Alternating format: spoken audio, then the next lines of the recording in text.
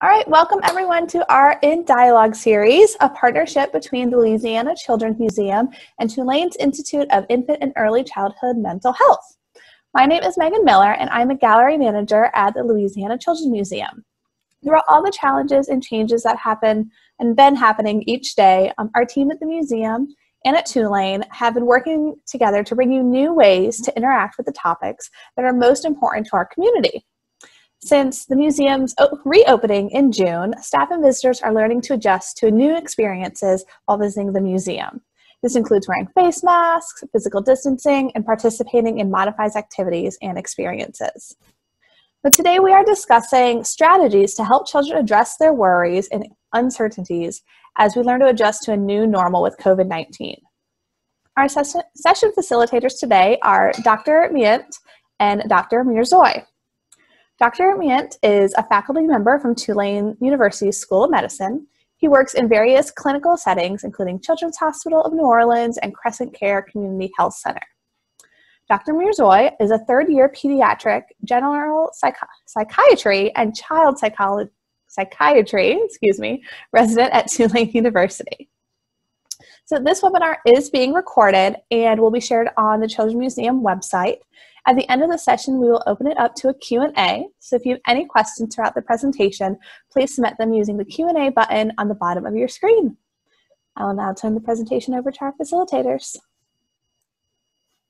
Thank you so much, Megan. Um, as she mentioned, my name is Dr. Mirzoy. I am um, actually, today is my second day of my fourth year of residency. it's very exciting. Um, but at Tulane, and I'm happy to be here with you guys. Today we're just going to be discussing um, what this new normal in the time of COVID means and what it means for parents and what it means for kids. Um, we'll go through a few kind of general thoughts and tips about um, some of the more specific things like wearing a mask or how to handle hospitalizations and death and everything like that um, with coronavirus. And then we'll talk a little bit more about general um, tips on how to handle just everyday um, situations. And at the end, if you guys have any questions about specific things that weren't um, uh, covered during this presentation, then I um, we're happy to answer them at that point. And you can put them in the Q&A box. Um, so what does this new normal look for um, for you guys right? So it's the past couple of months have been really different with all the kids at home. They're not able to go to school um, with the social distancing protocols. I'm sure it's been really difficult for um, family to get together from different households and for people to be able to see their friends. Um, it's summertime. Kids are usually used to going to you know vacation um, and maybe going to different countries maybe going to different states even. And with um, the recent restrictions on traveling, that's going to be a pretty um, new normal for them, right? And it may have been that your family had already had plans to go, you know, to someplace in June or July, and those plans had to be canceled. Um, also, there have been a lot of financial difficulties for a lot of our families um, with unemployment um, being a concern, and then also, especially New Orleans, having a lot of financial strain. Um, and then last um, but very unfortunately commonly is a lot of individuals know people within their families who have been um, sick with the coronavirus and with a lot of the new protocols in the hospital dealing with sickness in general for kids has been difficult. And then on top of that some of these really um, social distancing protocols and a lot of these things that are keeping us safe um, are also unfortunately making it a little difficult for kids to process some of these losses and grief. Um, so i want us to take a moment next slide um, to think about, and you can put in the Q&A comment box, um, just take a moment to think about what's the most difficult thing over the past couple of months um, for your child to handle with this new normal. And then I want you guys to think about in the next slide, what is the most difficult thing for you to handle um, with this new normal? So the next slide.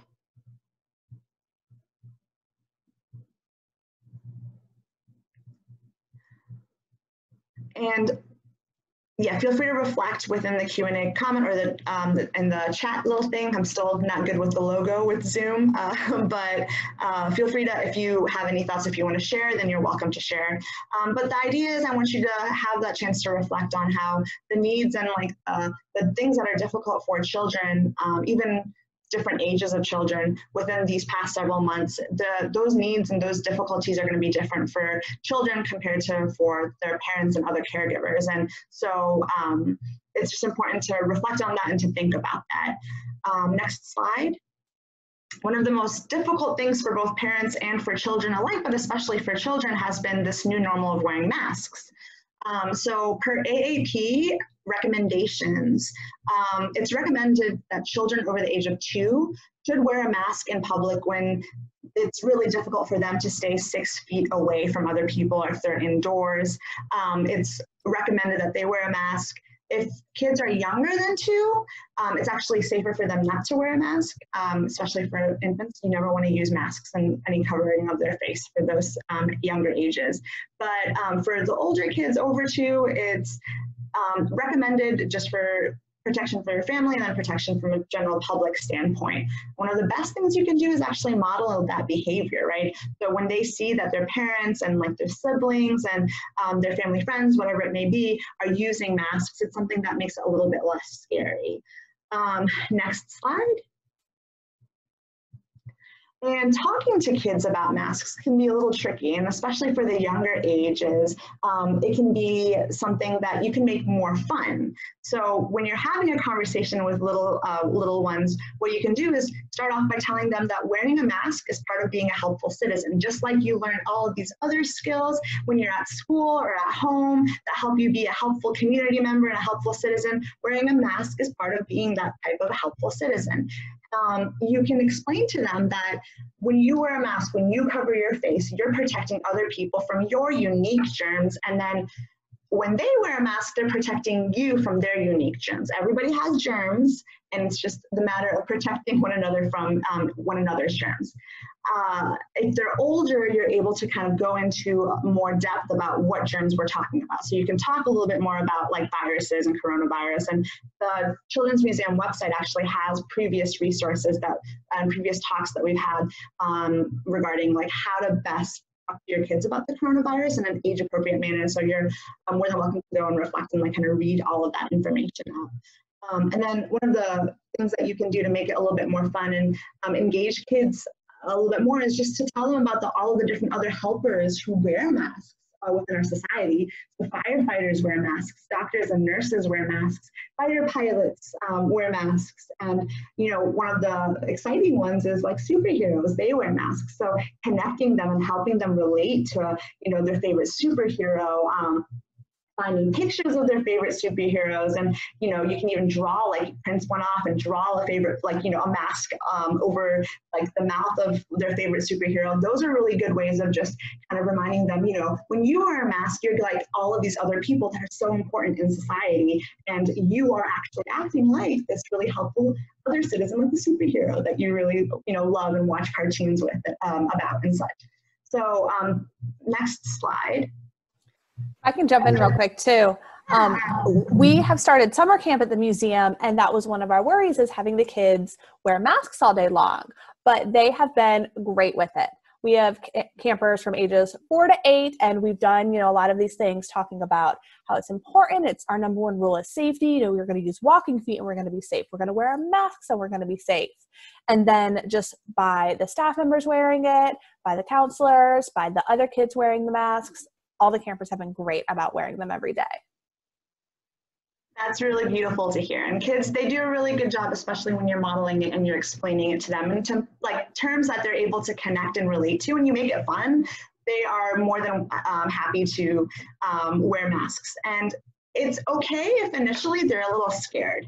Um, it's new, it's different, and it can be scary. If the, the, only other time in the past they've seen masks and is like in a hospital, for example, or something like that, that can be a scary thing for them. Um, so some recommendations and suggestions that can be helpful in helping them to maybe alleviate some of those fears is to actually have them look in a mirror when they're wearing their mask. So whatever their special mask going out mask is, having them put that on and talk about it, you know, or maybe you just have you put it on and you both look in the mirror and then have them work towards putting it on and looking at themselves in the mirror. That can be helpful. And let them ask questions and let them tell you how they feel about it um, with uh, their favorite stuffed animal or their favorite superhero. Once again, it can be really helpful to give them their own little mini mask so that not only is it that your child has a mask, but maybe their superhero, their stuffed animal also has a mask. That can be really helpful. Um, we're in New Orleans, we have glitter everywhere. Put glitter on the masks, you know, um, bedazzle them, whatever it is that your child likes to do, and whatever it is that's going to make it fun and like very personalized for them that's great. And the more you connect like have them connected and like um, actually hands-on working on your, their mask the more um, excited they're going to be to put it on right? Because they made that that's their thing. Um, and then also it can be really helpful for them to see other if they're not outside a lot showing them other pictures of kids wearing masks or showing them other instances like when you're out and be like look that other child who's your age is wearing a mask too. Look how wonderful it is that a lot of these people are wearing masks. We're being really good community members right now. Um, that can be really helpful because then they notice that they're not the only ones and they're not alone. Um, and then I kind of mentioned this earlier, but like one of the things you can do is like you can do like a take a book character or like a superhero and then just draw like a little mask on them. Um, and then practice wearing them at home so that they get used to it before they go out. Next slide. Uh, we talked about modeling already. That's such an important part, right? They look up to you. Your children look up to you. Um, they look up to all of their caregivers, right? Um, and then once again, like routines are really like a very um, common theme. When you're talking about kids, they love routines. And so chances are that when you have a kid, uh, when you have one of your children, they're going out to, you know, to the grocery store, the supermarket, whatever it may be, they probably already have a routine that they they follow. You know, you put your shoes on, you put your jacket on, whatever it is. Have this be where all of the rest of that routine information, like routine equipment is, right? Put their mask there. And so make that part of their routine. So it's something that they, they remember and they get used to. And of course, one of the most important things you can do with kids and all human beings in general um, is give them positive reinforcement when they put their mask on um, and when they keep it on. So saying good job is one thing and it's always great to hear good job but when you're specific it helps their brain connect that action to that good feeling that they have. So when you're telling them good job wearing your mask then what's happening is they're going to remember oh i felt really good because i wore a mask mom or dad or grandma or aunt or whatever it is like said something really nice to me and they like showed me attention and they make it very like specific about what you're proud of them. You're being such a good helper for wearing your mask right now or I'm so proud of you for keeping your mask on if they have a tendency of taking it off. So um, it can be really helpful for you guys to just, for you to focus on when they are wearing their mask, right? And being very um, enthusiastic and sometimes really overly excited um, at times can be really helpful when they are wearing their mask so that they remember that feeling, they remember what that's connected to. Um, next slide, please. All right, and I'll let Dr. Mann take over from here. Yeah, thank you, Dr. Mirzoy. Um, you know, Miss Hannah here on the Q&A was sort of like mentioning and um, sounds like you've been a great role model um, for actually reframing the mask wearing, um, saying um, things that, you know, is a small inconvenience that um, so that we can protect the people around us when the other grown-ups are actually talking weighing the mask being in negative things and like helping the grown-ups to actually talk about the grown-up conversations not around children is really important. And uh, it is hard um, there are a lot of new normal that are happening and um, you know work is home family is home and trying to coordinate those is really um, harder um, you know to do um, and but we do recommend if it's all possible trying to actually schedule them so that you can be present um, for whatever you're doing rather than trying to multitask. And are a lot of study that showed that even though we all like to think that we can multitask really well it's actually being ineffective in all the tasks that we're doing when we actually do that. Um, and with a current um, virus spreads and you know all of us are actually watching really carefully uh, from the public health standpoint where is uh, this going to continue to go? Um, though that the i know a lot of families um, and their caregivers parents are excited that the summer camps are reopening. We are really thrilled that children's museum has reopened and actually doing things very safely. Uh, american academy of pediatric aap that dr mirzoy uh, mentioned uh, had laid out specific guidelines to how to open school um, very safely because physically being in school has a lot of positive um, benefit for our children as well. Um, one of the things that uh, we want to actually talk about is, you know, how do we actually talk to our kiddos um, when um, things are happening, when the family member is sick. Um, we know that it's affecting large member of our community, uh, particularly uh, our community members of color. And so I think it's really important how um, we need to be talking to our kiddos. Um, I think it's important to be truthful, um, but really pay attention to their developmental stages. Um, so that the when um, the loved one's family member is sick, particularly in the preschool age, really keeping it simple, sticking with the facts, but try to actually provide a reassurance that the illness is not their fault and there are a lot of grown-ups um, are actually doing everything in their power to actually make sure that their loved ones are okay. So we can say things like, grandma is sick, she's in the hospital, where the doctor and nurses will help her get better. We can't see her right now because she does not feel good, um, would be a very simple age appropriate for the preschool age. Um, as they get older, um, you can sort of expand on that, uh, provide a little more detail and context. Um, so for the school age, um, you can say grandma is sick um, with the illness because of the coronavirus. Um, she's in the hospital. She needs the help of the doctor and nurses, and hospital is trying to keep everybody safe from the germ, so we can't visit her right now. And as your child, you know, grow older, and just following their cue, and um, when they do have questions because um, they are connected to the world and they do hear grown up talk about the grown up things even we try really hard not to um, and so they may ask specific questions and try to answer them truthfully um, and age appropriately. Um, the blanket reassurance uh, without specific context um, sometimes it's not helpful because they can also sense that the grown-ups when they're talking about it are worried and anxious. So um, if they ask and uh, you try to be helpful or reassuring by saying oh you don't have to worry about that um, doesn't actually help them uh, reassure as much as we would like them to. So sort of like following along with that um, the um, if they do actually are seriously ill and um, the loved ones in the hospitalized, um, that explain to them that how we keep each other safe um, and how we um, stay away from other sick people so that we are not spreading it. Again, being honest is really important, but simple terms. Um, they're still sick and they need a lot of help from the nurses and doctor. Would be the beginning stages. If and when they're feeling better, you can update them that they're sick but getting a little bit better every day. Um, and when they're ready to actually get discharged, they're almost better, might even be able to come home soon, but they may still need to be quarantined or separated. So you can explain to them that, you know, grandma is actually in her home, but we can't visit her quite yet um, because um, she needs to actually um, get stronger by herself and we um, shouldn't actually expose to um, other lot of people.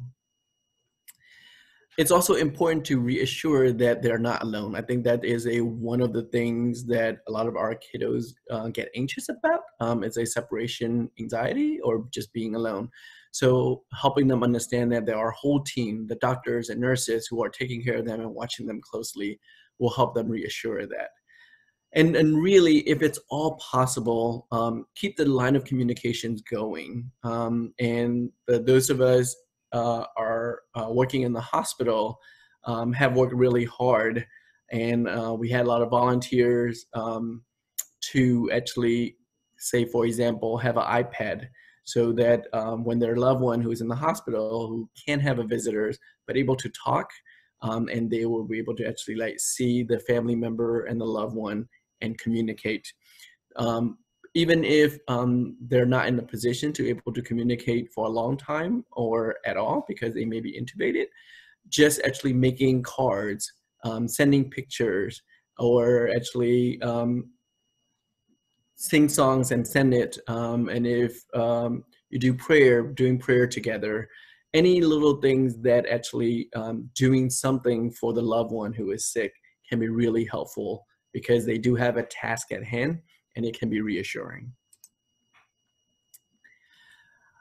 In an unfortunate event that our loved ones passed away and die in the hospital, um, really try to avoid using euphemisms um, because the younger children's um, their brains are still fairly concrete and so they do need to actually know um, in a very simple specific terms that the um, we can explain um, to them that the people are with them in the hospital and they weren't alone um, when they were being um, you know dying or passed away. And figuring out with the hospital team um, how the child can actually be involved um, in a uh, dying process um, and the funeral. So the uh, is it okay to send the message? How can we actually say uh, goodbye remotely if we can tell that um, the death is becoming near? That um, again, reflecting on the positive memories that they have uh, about their loved one with their loved one. So reassuring that their loved ones know how special they are and that uh, how much they love each other. I think those are important. As I alluded to earlier, exploring the, how they can have a funeral memorial uh, with the people that um, they live now or later when it is safe. So just trying to involve them as developmentally as um, developmentally appropriate as possible could be really helpful um, to make this really difficult experience uh, meaningful and not necessarily develop into um, specific um, you know mental health symptoms down the road. The um, help child find the object or picture that connects them to their loved one and remind them of positive times is a really helpful thing to cope. And um, if you're of a family of spiritual religious practices, uh, guide them in um, doing things together like prayer that they connect to could be really helpful. The um, NCTSN um, has a great resources, um, and so the link is at the bottom, and we'll actually talk about that um, afterwards as well. I'm seeing that the other questions.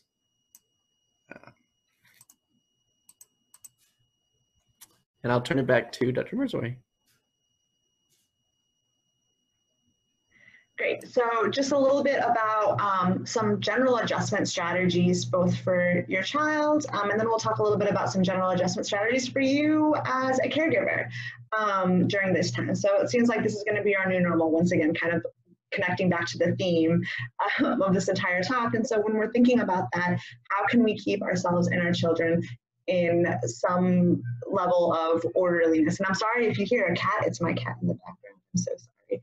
Um, but uh, essentially, when we're talking about kids first, um, one of the best things and most important things that you can do for children of any age is just to keep a routine in place um, kids thrive on routines and it doesn't have to be a super specific uh, routine where it's like every minute is accounted for more so you can keep it flexible in certain times but keep their waking up schedule and their meal times and their bedtime um, about the same throughout the week and throughout the months that you guys are in quarantine. It's going to make things a little bit more predictable for them. Um, also having some general sense or a general idea of what activities they would do in what areas of the like early in the afternoon or later in the evening giving them that um, kind of general plan can be really helpful for them. And then when they're switching from like one activity to another, really thinking ahead and planning ahead about, okay, well, how am I going to tell them about these transitions? Kids are really, tr- it gets really tricky with kids um, and transitioning from one activity to another.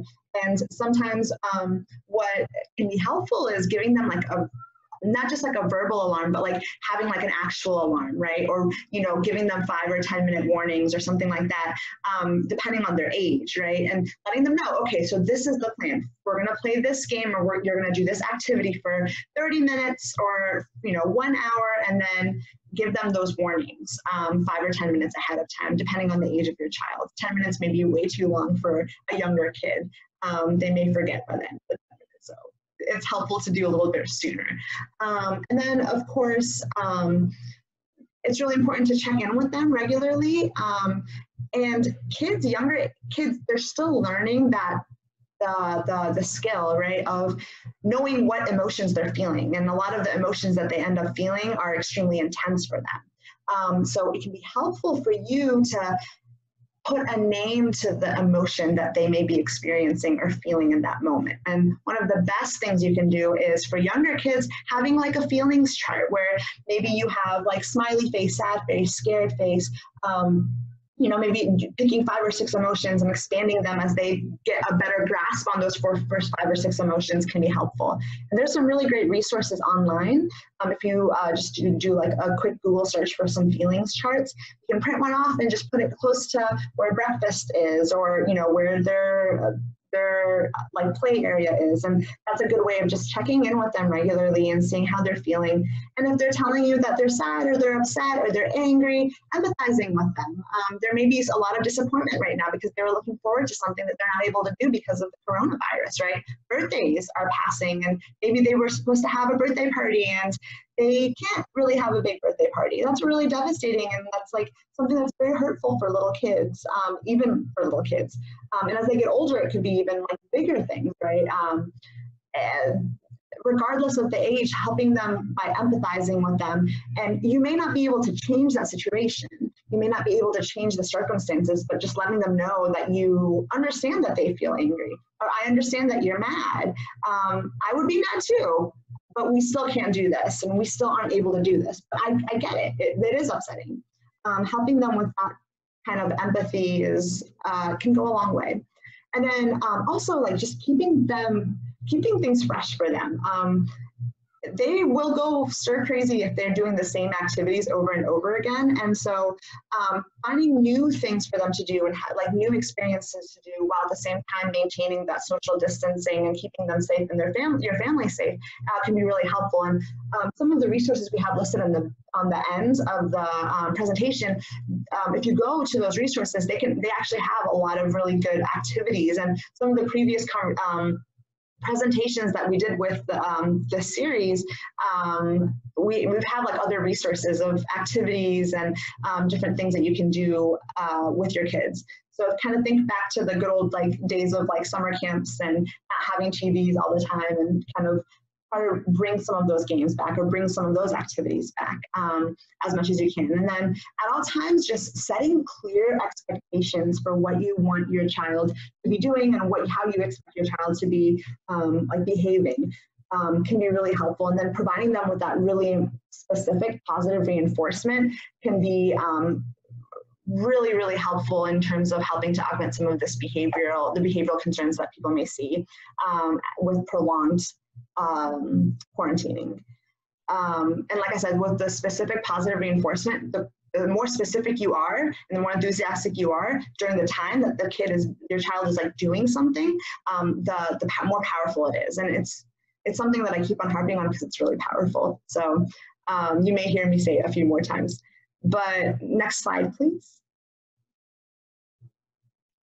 So the next thing that I wanted to talk about was um, general adjustment strategies for, for parents, for caregivers. Um, with caregivers, it's important to also, you know, try to keep a schedule for your work. And it can be helpful for you to have your schedule for your work um, in the same public place that you have your schedule for your child's um, day so, and like helping them to understand like when i'm you know i'm i work or you know um, you're going to be busy from this time to this time while they're doing this activity. Um, that can be really helpful and setting that expectation and making that consistent can be really, really helpful if you're able to do so. And I understand that a lot of families may not be able to do it. So you try your best with um, the situation in which you're in. With regards to um, some visual ways that some people have found um, helpful for having their kid understand I'm working right now, um, using like a red light, green light. Those are something that's something that's very universal for kids. So letting people like you know having literally a red stop sign and like a green stop light or something like that um, outside of where you're usually working checking in with your child before you go into your little zone and letting them know unless you know like this there's like an emergency of some sort um, you know i'm working and so you have to be quietly playing or completing this task and you have that red light on. And then if it's green then they can come into your space. And i think that can be really helpful especially with like, you know zoom meetings and appointments and uh, things like that. Um, I really wish this worked for cats because my cat is currently like going crazy outside the door. it does work for children, um, if not for cats. So, um, and then using that frequent positive reinforcement and giving your children rewards when they do follow those instructions can be really helpful. Um, oftentimes, parents and caregivers are so overwhelmed with everything else that they have to do that they forget to like really just check in with themselves and be aware of what they're feeling and what can end up happening is that you there's a buildup, there's a buildup, there's a buildup, and then um, uh, something will happen, and then you kind of have like a quick burst, right? Um, and I think one of the things that we can do is also just being aware of how how we're feeling and how uh, parents and caregivers themselves are experiencing things like anxiety right? When parents are anxious or when caregivers are anxious that can actually rub off on children too.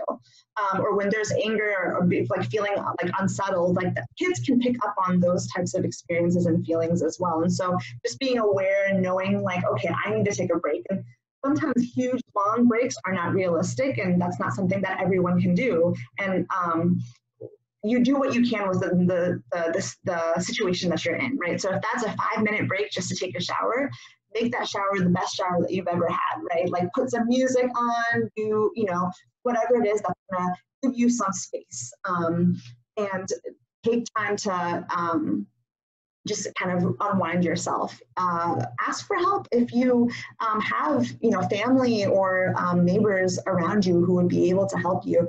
Help, ask for help, and um, you know, especially during times of pandemic, a lot of people are really opening up their hearts and their, you know, their phone lines, right? Like for their community to connect and to talk to them about whatever it may be that's really overwhelming, um, you know, them. So. Uh, asking for help is is really important. Um, and then, of course, just remembering to reset expectations that you have for yourself and for your children.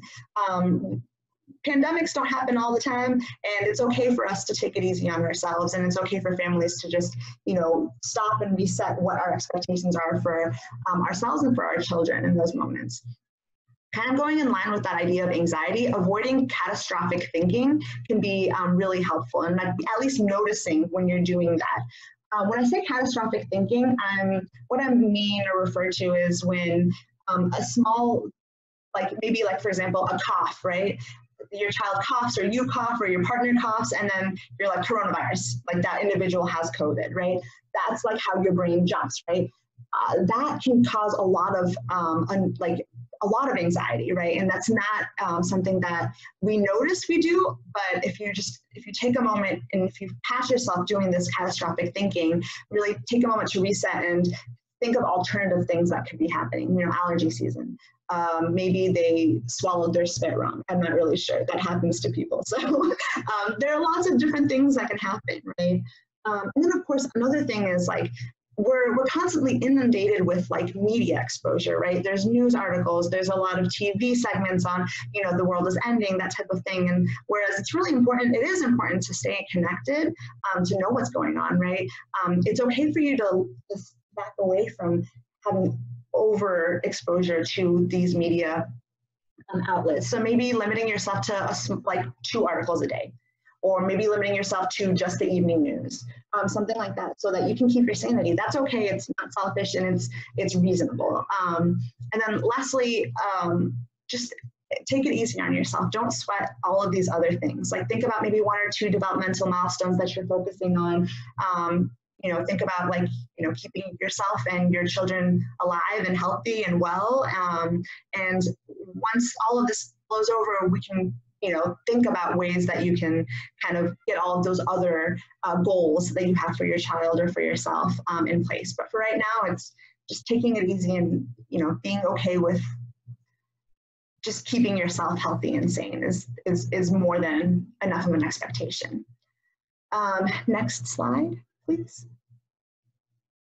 And uh, once again, like just in general, talking about anxiety. So uncertainty it actually brings a lot of anxiety for everyone. And so, how you manage um, anxiety in general is not to make whatever it is that you're afraid of, like that fear, go away. Um, it's to learn to how to manage that fear and to be able to tolerate that uncertainty of not knowing what's happening in the future, what's happening in the situation. Um, I found that in one of the um, articles I was reading in preparation. I just I thought that that was something that really spoke to me. I think it's something that helpful to remember in the back of my mind that you can't get that fear to be completely gone, but just trying to figure out how we can manage that fear is the key. Slide, please. Um, so with that um, being said, just one of the things that we can model and we can get better at um, and also help our children with is coping with uncertainty. Um, it's uncomfortable, right? If you just take a second to think about how that makes you feel, not knowing when the pandemic, when social distancing will be over, when we'll be able to travel more, that, that when you can go back to school, right? These things are very uncomfortable. Not knowing is very uncomfortable.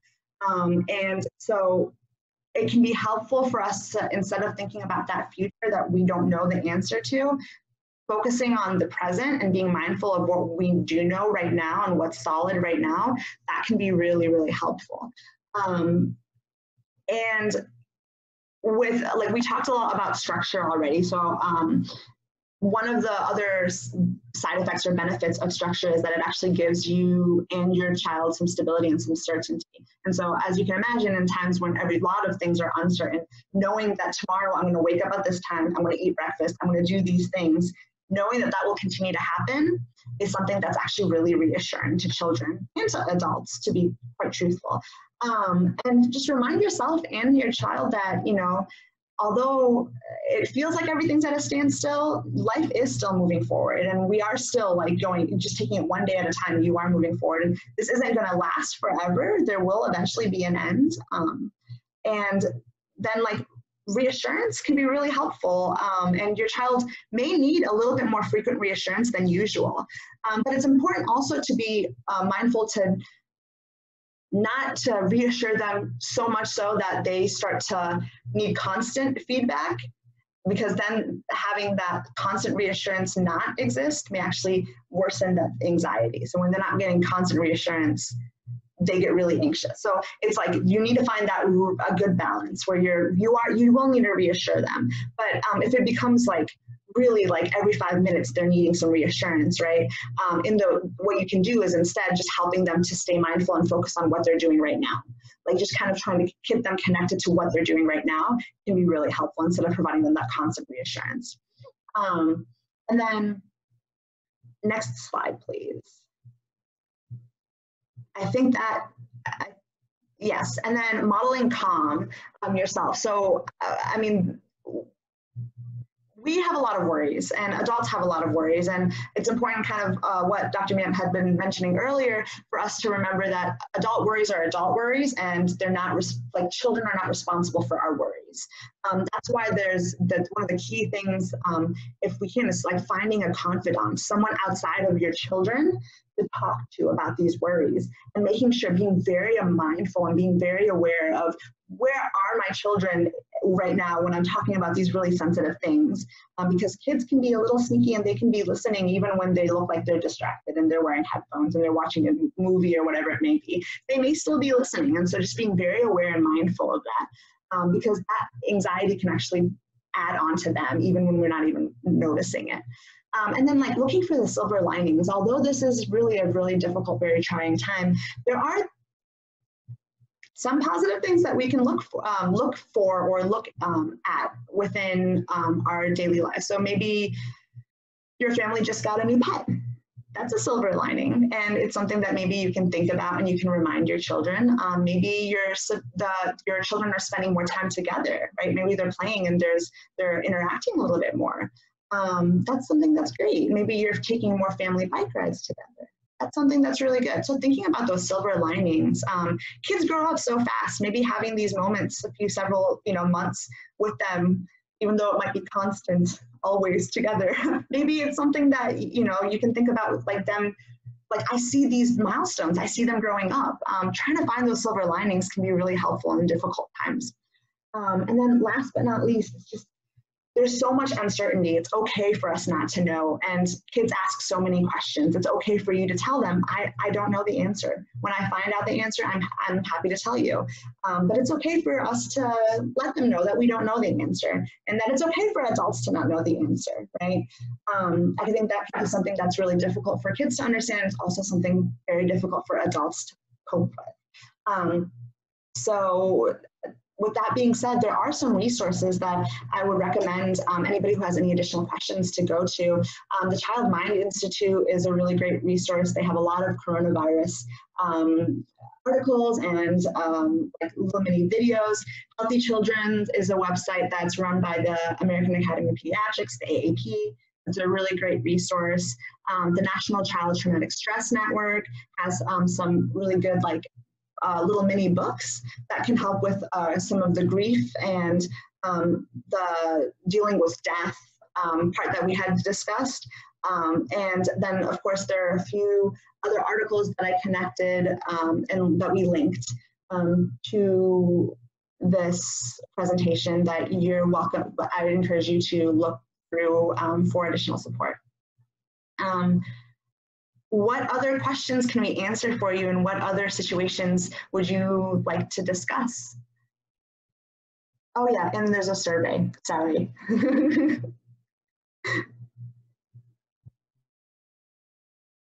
we'll come back to the survey as well. Um,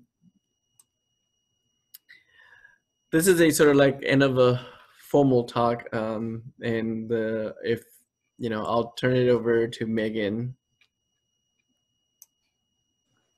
Sure, thanks. Thank you for sharing all those great tips. Um, if anyone has any specific questions or other things you would like to be discussed, please put them in the Q&A now and we can definitely talk about them. Um, do either of you have any suggestions on ways to prepare children specifically for going back to school? Whether schools decide to be in person, whether schools decide to do online learning and in person. Um, are there any additional tips you can recommend that parents can start preparing their children now for that back to school time?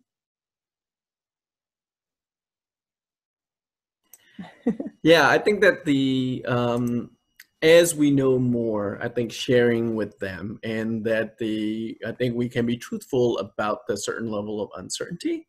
And the again for the younger folks, or um, again, you know your children's really the best if you feel like that the um, the uncertainties are actually going to make them more uncomfortable, then we can withhold it until we know more for sure. Um, but I think keeping them updated about how you're checking it with the school, and um, you know, as we know more, we will tell you more. I think is a simple way to begin um, sort of preparing for it. Mm-hmm. As we get closer, and when you know, for example, summer camps, believe uh, some of them are starting Monday. And there, if there's going to be a structure, and during the time that we're all staying at home, the routine has gotten a little relaxed, which is totally okay. So, like bedtimes and wake up times, we may want to actually start um, moving back towards um, the expected structure times. So, because you know, if um, we're actually um, allowing them to sleep in until 11 a.m. because things are actually, you know, um, flexible now. But now we're expecting them to actually show up to the summer camp at 9 a.m. or even earlier. It would be a, a pretty big adjustment. So slowly, sort of um, preparing for that and structuring the time that would be um, sort of approximating to the expectations, um, either school or the camp, will be really helpful. So, you know, just like you would have done um, all the other times back to school preparations, you can totally do that with these new normal caveat of we're going to be wearing masks, the uh, recess is going to look different, the lunch hour is going to look different, and that um, you know the staying in your seat is going to be more important than ever. So teaching those um, and modeling those, I think, could be really helpful. Great. Um, last chance if anyone has any other questions, feel free to type them in now. Um, there is a survey that we ask everyone to do just to give us feedback on this presentation as well as other topics that you would like to hear about in future presentations. Um, I have put the link to it in the chat box. You should be able to copy it into your browser. Um, I will also link all of our past um, sessions so you can view this session it was recorded as well as other in dialogue sessions that we've had over the past couple months while the museum has been closed. And now that we're reopened, we're going to continue to do them. Um, and like I said, we'd love your feedback on other topics that you would like to hear about. It looks like the, we do. Yeah. Um, we have uh, another questions about the um, parents um, with the kids, um, you know, helping children with autism during this pandemic. I think it's a really good question, uh, and that um, there are resources out there. The Autism Speaks um, will have um, some of the resources, as well as on the Healthy Children's um, again, understanding, um, because as we know, the autism spectrum is a wide spectrum.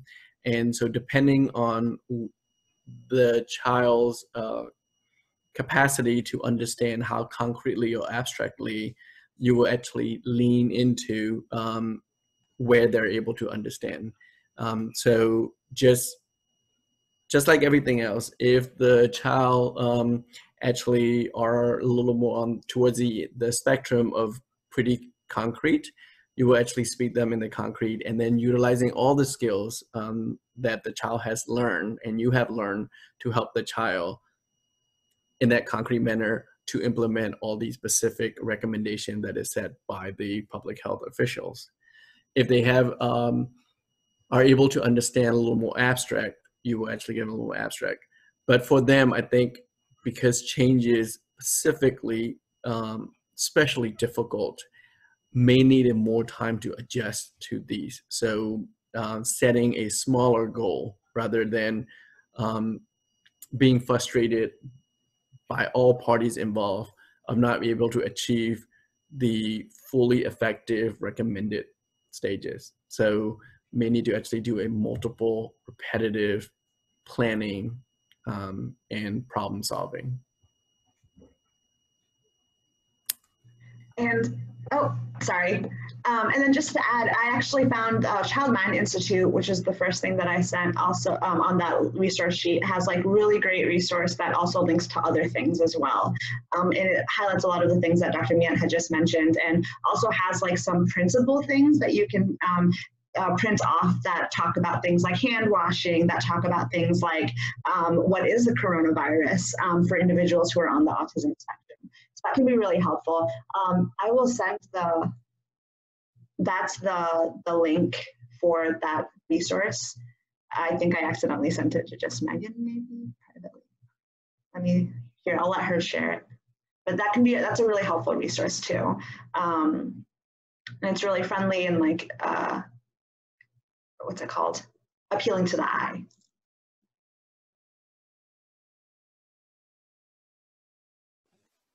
Great. All right. If we don't have any other questions, um, we'll wrap it up. Thank you, everybody, for participating today. And like I said, there is the survey, there's the resources in the chat box, as well as a link to our past sessions. So thank you to our facilitators and everyone for joining us. Thanks so much.